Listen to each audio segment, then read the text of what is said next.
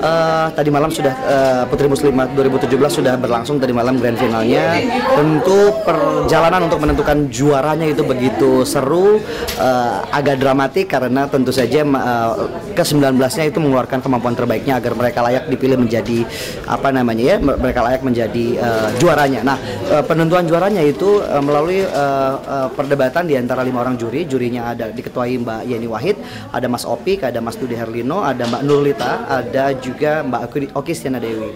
Dan tentu saja dimoderatori dan di apa namanya dibimbing oleh tim dari uh, Indosiar. Nah, uh, perdebatannya menarik bukan karena apa-apa, uh, tapi karena kita ingin menentukan siapa yang paling baik di antara yang baik. Semua finalis uh, apa uh, cantik, semua finalis menginspirasi dan semuanya mampu menjawab pertanyaan-pertanyaan dari juri ataupun dari uh, pemirsa melalui sosial media dengan sangat baik. Nah, uh, tapi detik demi detik uh, akhirnya uh, para juri memutuskan ini tadi memutuskan 10 plus 1 jadi 11 besar, 6 5 plus 1 jadi 6 besar sampailah ke tiga besar. Nah, pertanyaan terakhir yang ditanyakan sama kepada ketiga-tiganya itu yang menentukan siapakah yang menjadi juara.